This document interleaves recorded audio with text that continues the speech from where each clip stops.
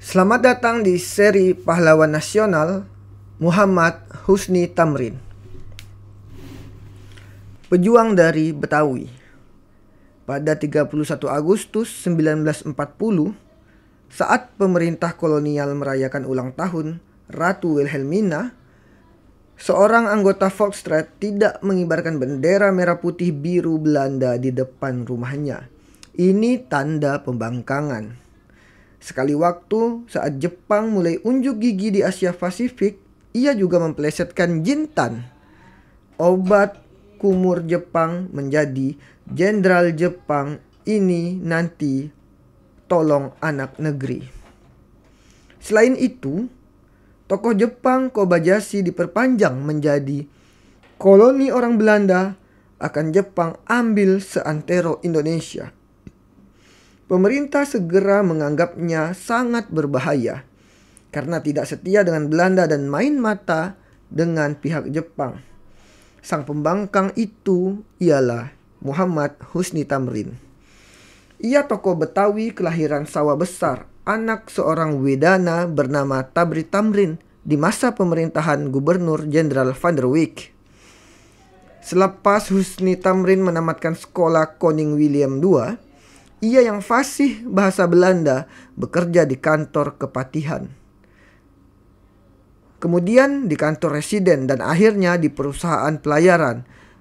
Koning Klik Paket Vat Mas atau KPM. Ia lalu diangkat menjadi anggota Dewan Kota Batavia tahun 1919. 40 tahun kemudian, ia mendirikan Persatuan Kaum Betawi yang bertujuan memajukan pendidikan, perdagangan, kerajinan, dan kesehatan untuk penduduk Batavia. Dalam Dewan Kota, ia mempunyai pengaruh yang besar karena dianggap mampu diangkat menjadi wakil wali kota. Tetapi hal itu tidak mencegahnya untuk mengecam tindakan pemerintah Belanda yang menindas rakyat. Pada 1927, Tamrin diangkat menjadi anggota Volksrat dan kemudian membentuk fraksi nasional untuk memperkuat kedudukan golongan nasionalis dalam dewan. Ia juga segera mengadakan peninjauan ke Sumatera Timur untuk menyelidiki nasib buruh perkebunan yang sangat menderita akibat adanya Poenal Santie tindakan pengusaha perkebunan yang sewenang-wenang terhadap buruh dibeberkan dalam pidatonya di Volksrat. Pidato itu berpengaruh di luar negeri. Di Amerika Serikat, timbul kampanye untuk tidak membeli tembakau Delhi. Akibatnya, Puenale Santie diperlunak dan akhirnya dihapuskan sama sekali.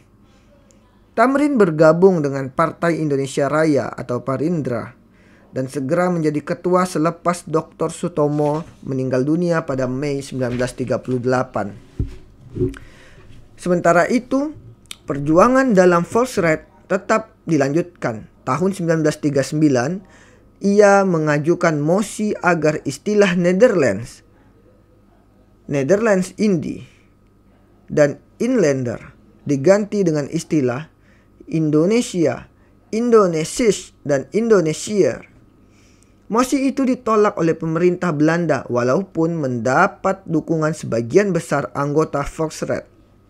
Sejak itu, rasa tidak senangnya terhadap pemerintah jajahan semakin besar. Akibatnya, pemerintah Belanda mencurigai dan mengawasi tindak tanduknya. Tanggal 6 Januari 1941, Muhammad Husni Tamrin dikenakan tahanan rumah dengan tuduhan bekerja sama dengan pihak Jepang Itulah akhir dari kiprah Tamrin dalam ranah pergerakan. Penahanan rumah yang dikenakan terhadapnya membuatnya jatuh sakit. Di rumahnya di Jalan Sawah Besar nomor 32, Tamrin muntah-muntah dan demam karena gangguan ginjal. Kecapaian dan malaria. Istrinya meminta polisi agar mengizinkan kunjungan dokternya. Januari 1941, Suhu badan Tamrin sangat tinggi dan ia hampir tidak bisa bicara.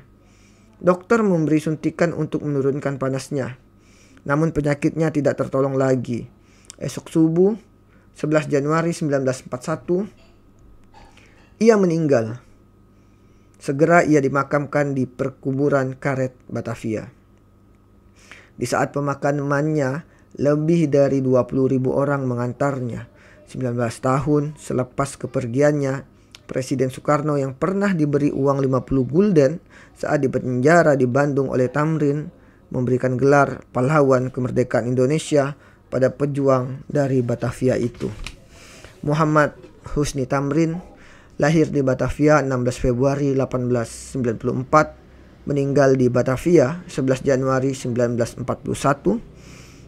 Gelar Pahlawan Kemerdekaan Indonesia Dasar penetapan Kepres nomor 175 tahun 1960 Tanggal penetapan 28 Juli 1960